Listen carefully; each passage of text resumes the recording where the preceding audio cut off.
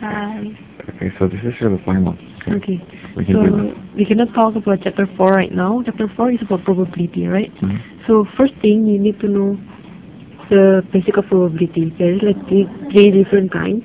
The first one is relative frequency approximation.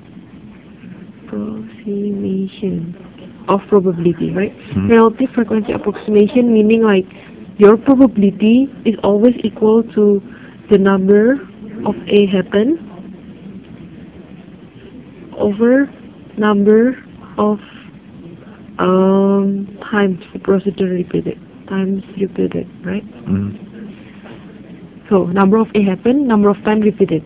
Example is probability of getting head in three coin. Like how many times A happened, and then if repeated in three times, something like that. Mhm. Right. The next one is classical ap- approach. Classical approach.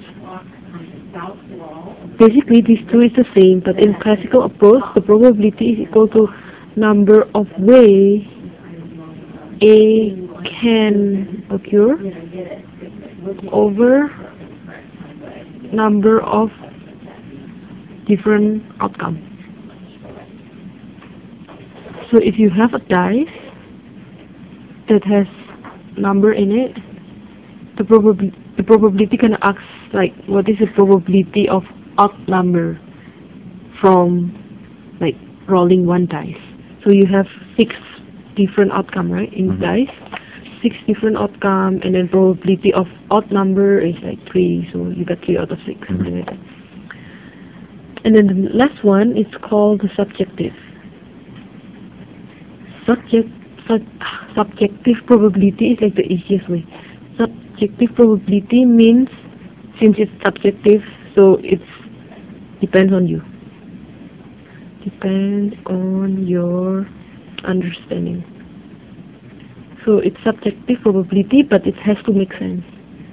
For and you have to know that probability is between zero probability and one. So zero means impossible to happen. So it will never happen. Right? For example, you um, roll a dice and then you ask for the probability of getting number seven.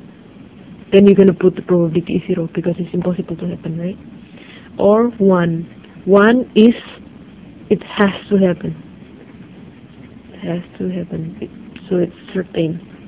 Certainty. So it will happen. For example, like I have a kind of pencil inside my